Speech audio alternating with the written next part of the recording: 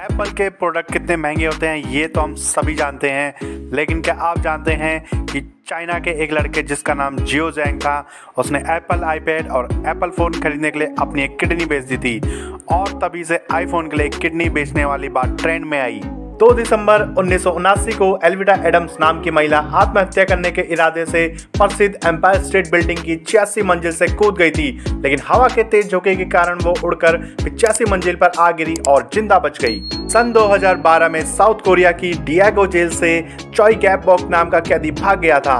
आप बोलोगे कि इसमें क्या नया है तो आपकी जानकारी के लिए बता दूँ कि ये बंदा कैदियों को उनके सेल में खाना देने वाली जगह से फरार हुआ था, जो 5.9 इंच लंबी और 17.7 इंच चौड़ी थी और इस जगह से निकलने में शख्स को लगे थे केवल 34 सेकेंड।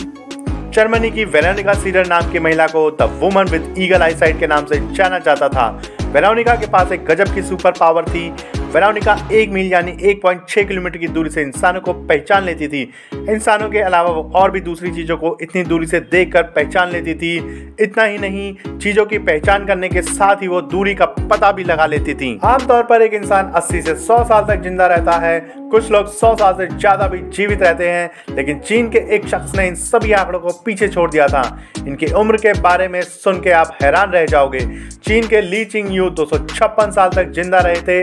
ली चिंग का जन्म चीन के सिचुआन में तीन मई 1677 को हुआ था। ली चिंग ने अपने जीवन में 24 शादियाँ की थी और उनके बच्चों की संख्या 200 थी।